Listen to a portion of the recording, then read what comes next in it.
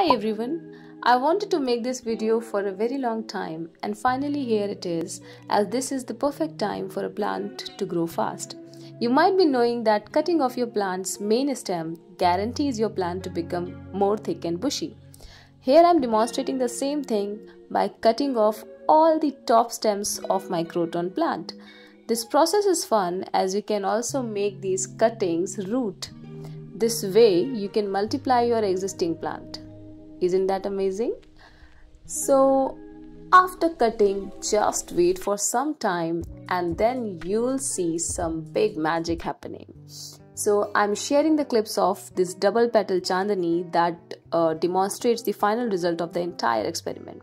So, at the point of excision or cutting, uh, you will find two little green lateral buds spreading within a week so this might look very simple to you, but just think for a second that what might be occurring inside this tiny plant. So it all happens because of a hormone which is formed in the tip of the main stem. This hormone is called auxin.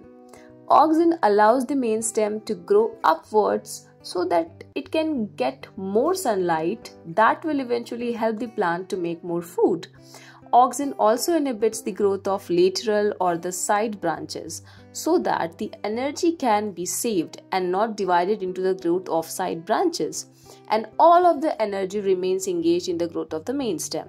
When we cut the main stem, then this inhibition is lost and as a result, now the side branches start behaving like individual main branches with an ultimate aim to grow in reach of more sunlight and that's the reason the plant gets bushy.